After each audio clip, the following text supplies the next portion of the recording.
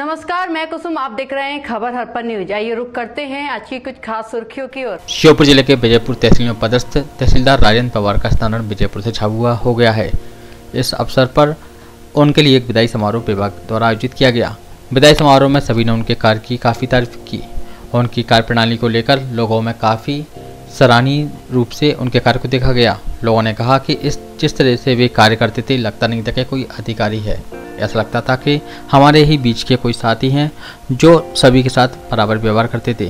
प्रशासनिक कार्य में उनकी दक्षता, उनकी कार्य प्रणाली साफ़ साफ़ दिखाती थी।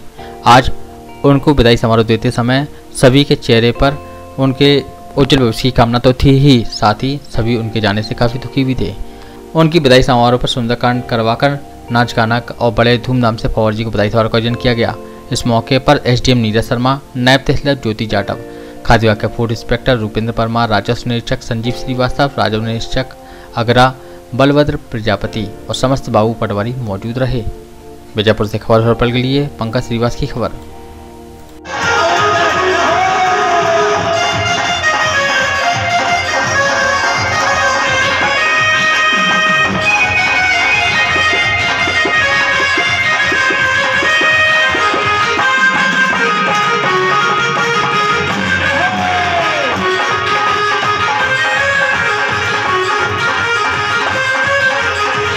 शासन यदि करती है तो कोई नो डाउट अब तो यहाँ हम इतने आत्मीयता है, लोगों से जुड़ चुके हैं।